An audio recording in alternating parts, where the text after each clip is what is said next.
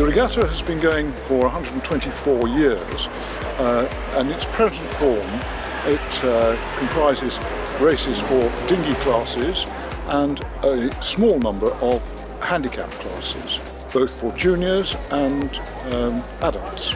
There are six races in the morning and six races in the afternoon. Visitors come from all over the country, but principally um, London and the home counties. Um, and there are a number of uh, competitors from Salcombe Yacht Club itself. It's a, a very strong junior fleet here, uh, as they call them, cadets.